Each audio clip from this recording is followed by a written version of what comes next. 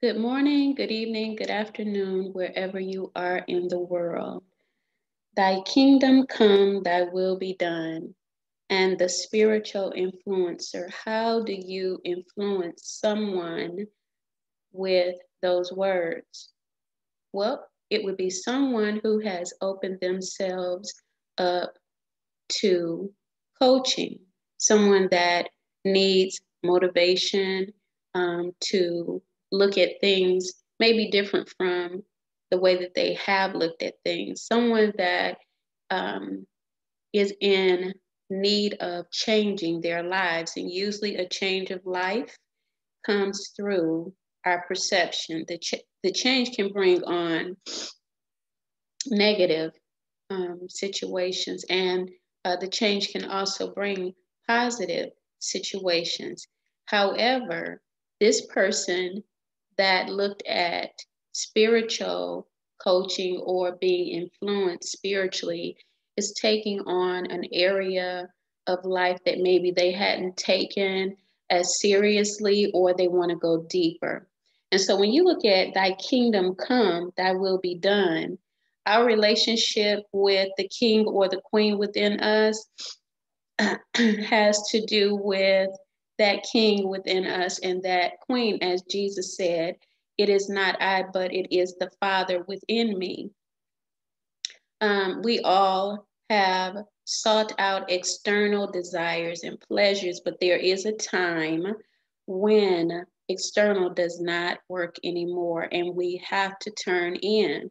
And this is where um, you are able to um, put things into perspective concerning disappointments in life. Someone that is um, depressed, they're able to overcome levels of the depression that they um, experience. And I'm not saying this from a diagnosis of um, depression disorder. I'm saying someone that has lived in dysfunction and has come into a place where they want motivational coaching um, from a spiritual standpoint where they can see how to go within or learn to go within from, say, like the scriptures, because thy kingdom come. Well, which kingdom do you represent? Is what I would tell someone that I'm working with. And um, that is something that you'll have to think about. So if you represent the kingdom of goodness, love, and happiness, then you're going to start learning how to be that um, you're going to affirm that you are that so that you can start walking and talking in it. If you represent darkness, which is something that many people, the kingdom of darkness, many people, they won't actually admit until they're in a change of life that is um, like the dark night of the soul, where you're going through destruction. You know, everything that you created is being taken apart. And, you know, even in the dark night of the soul, the taking apart of your life is necessary for you to step over into the next level of life. Say, like in the Exodus, you can't exit from anything until you've learned something to go into a promise or of the Jordan, right? So, thy kingdom come, thy will be done. It is the Father within you and the mother within you will that you and the will would line up the will of the superior God within you, that God that Jesus taught about, or whatever religion that you're in, because I don't get into debates. I believe that everyone lived in um, certain parts of the world and they experienced um, God and the grace of God in different ways. So I, am not going to get into all of the um, discrimination that religion holds to keep us separate. You know, we're we're working as spiritual influencers to bring people together. So when you look at the kingdom, so the kingdom of good, love, and peace that I um, create within myself, it connects with my sister and brother.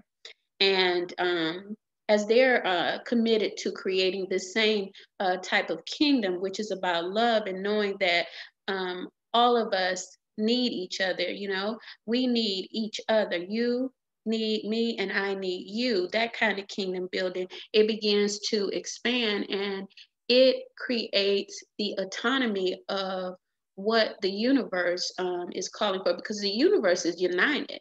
You know what I'm saying? You can see that it's dark out there, but there's planets, you know, sitting in there. And so when we come on back from that concept and we look here, um, the universe and God, the same God that Jesus was talking about, um, is coming from that point of view.